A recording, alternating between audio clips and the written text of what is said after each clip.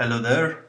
In this video, I'm going to show you how to um, adjust the widget of a widget bar module so that it looks as if it is spanning um, two modules. As you can see here, uh, this entire thing is a widget in the widget bar module that is at the bottom here. But using some um, CSS we can uh, you know basically reduce the widths of the sections at the uh, in the top module uh, move them to the left and then you know position this so that it appears as if it is spanning the two horizontal rows. Okay so let's recreate this. I'm gonna open my test site which is running on my local host.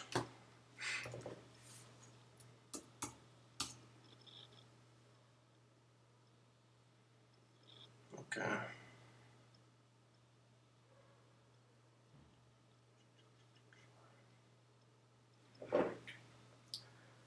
For simplicity's sake, I'm going to use the default child theme, but this method works in any child theme.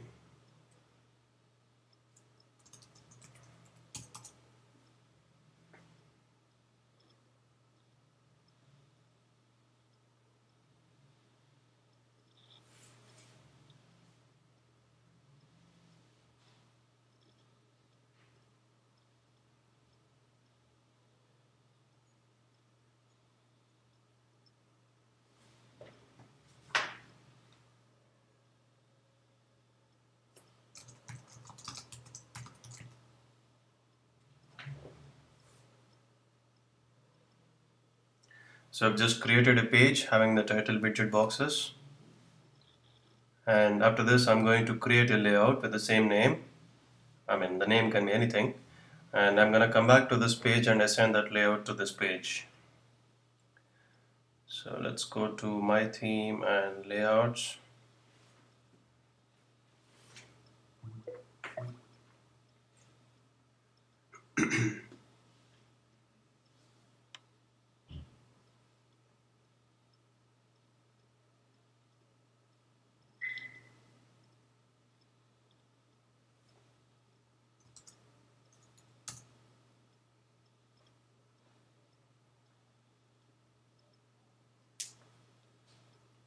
okay.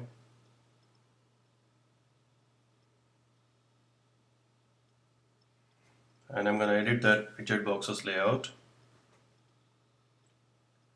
And I don't want a content module in that so I can get rid of that. I'm going to add a module below the uh, existing widget bar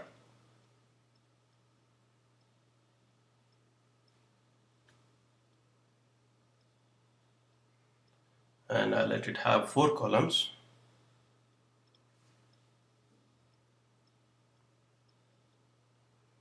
And save the layout. Go back to all the pages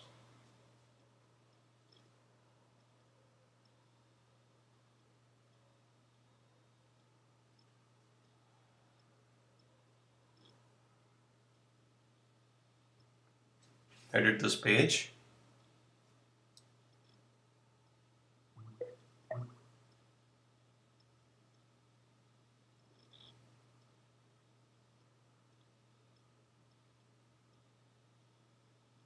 And have um, I'm gonna send widget boxes layout to this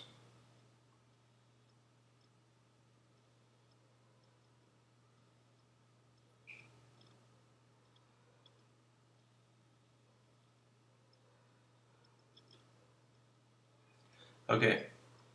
So when I view this page it appears like this. This is the first top top um, module which has three sections three columns. And this is the uh, widget bar module at the bottom which has four sections. So let's uh, yeah. So what we do is let's get the uh, widths of each of these four sections so I'm gonna bring Firebug. And start inspecting. Okay.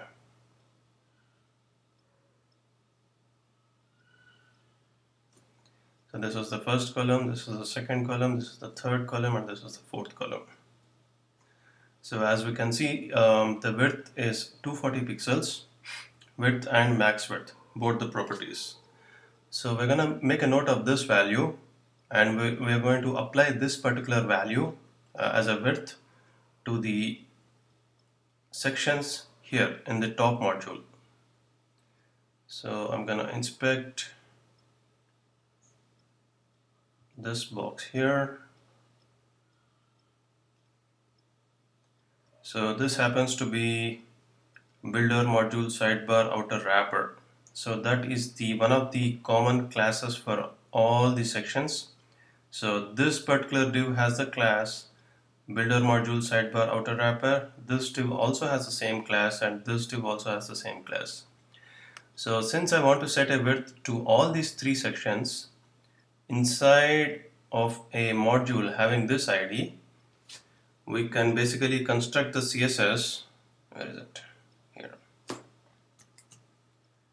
like this.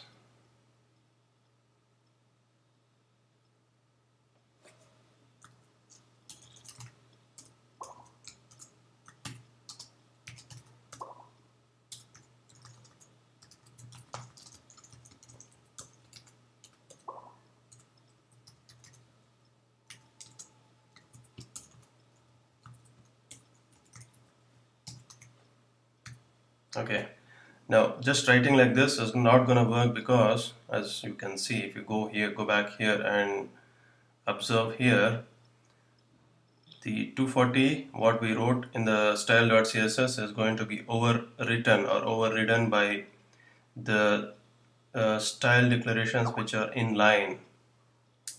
So what we got to do is we have to use the important declaration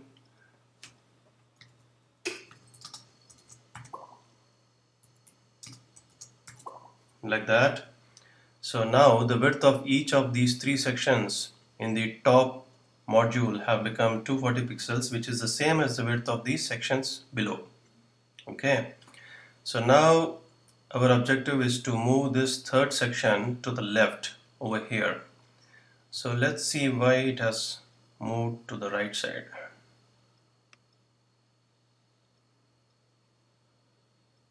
Okay so as you can see let's start from here. Yep. So this div has uh, a class right and it is set to have it's set uh, it's having float right property and that is the reason why it is going to the right side. So all we have to do is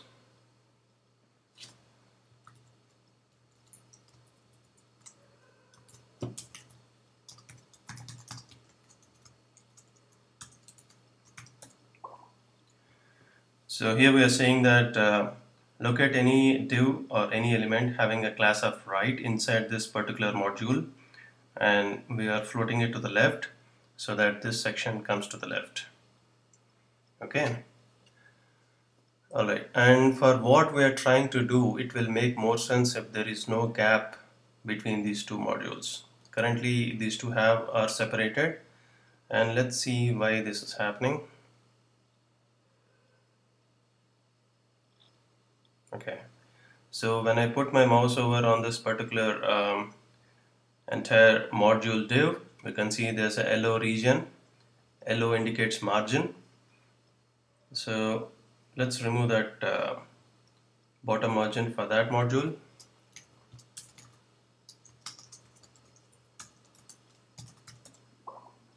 So so you know the, both these modules now are look as if they're combined. There's no space between them. Okay so now we have to move this particular section here.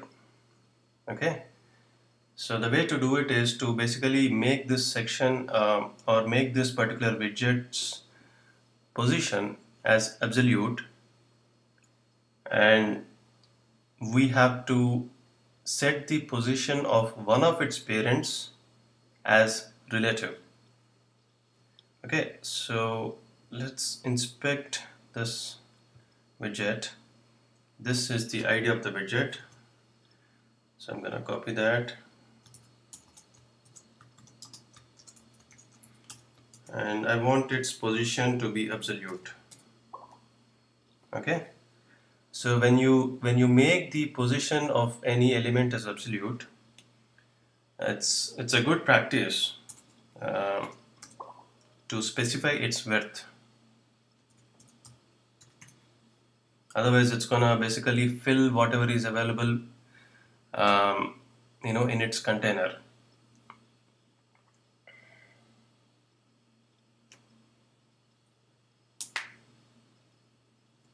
Okay. Now so as you can see this is uh, hang on.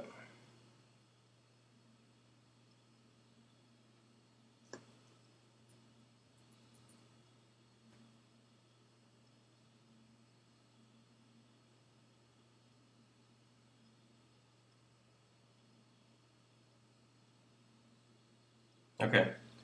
I've just observed the width of um, uh, the widget over here and that happens to be 222 pixels. That would be the same width uh, for this widget and this widget as well. So I go to set this to 222 okay that's better.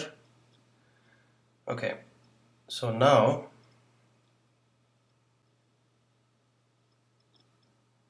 okay so uh, the widget this particular widget is inside a particular module and that module itself is under a div uh, having a class of builder container.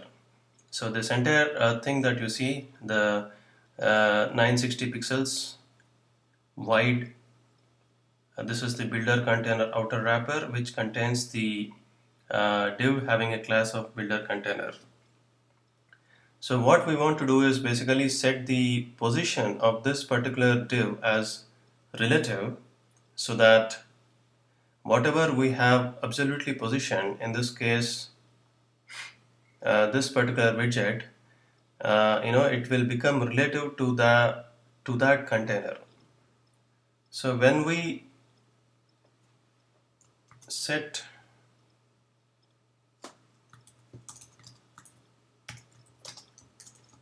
the position of builder container as relative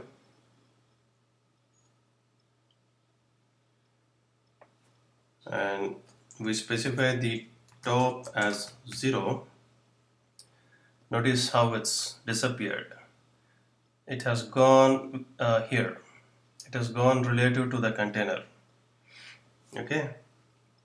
So now all we have to do is we have to increase the value of the top so that it lines up and goes to the position where we want it to appear. So let's make it uh, 180 60 okay that looks fine. Okay. So now when you edit this widget and add some text it's gonna completely you know go down and it will look as if it is spanning uh, two horizontal modules. Okay so let me just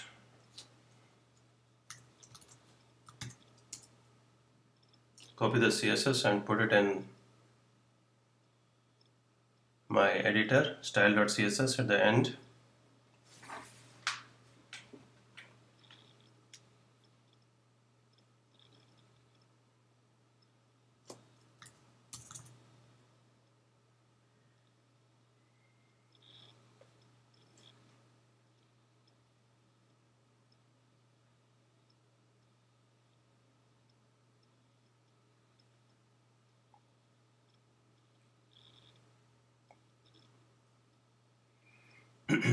okay.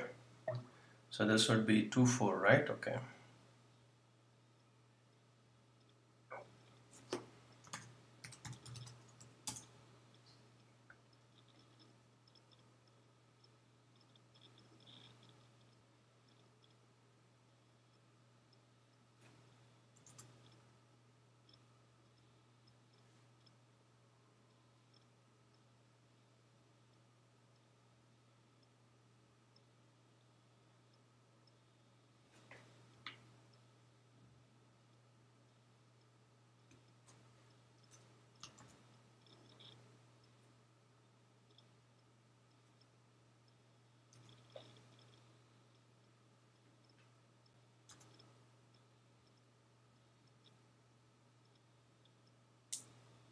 Okay. Um, you, you see what happened is that when I added the content when I dragged the text widget into this widget area uh, the div's ID has changed and that's the reason why our CSS was not working